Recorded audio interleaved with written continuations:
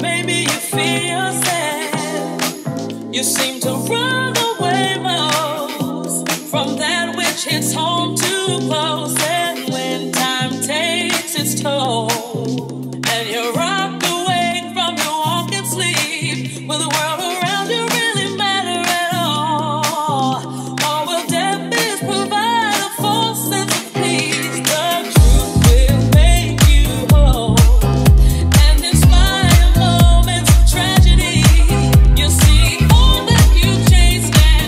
you.